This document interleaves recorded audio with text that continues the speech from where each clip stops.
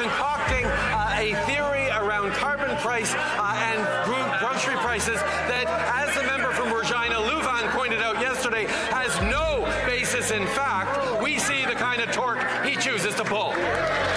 Mr. Speaker, he makes it too easy. He talks about caucus meetings and Loblaws. Get this. The Prime Minister had someone who is his Director of Caucus Services named Julie DeWolf, who is now a lobbyist for Loblaws. Not only that, not only that, he digs up a lot of dirt. His chief dirt digger, Kevin Bosch, left his office so that he could go and work as a lobbyist for Loblaws. Would he like us to continue going down the list of all of his Loblaws lobbyists, Mr. Speaker?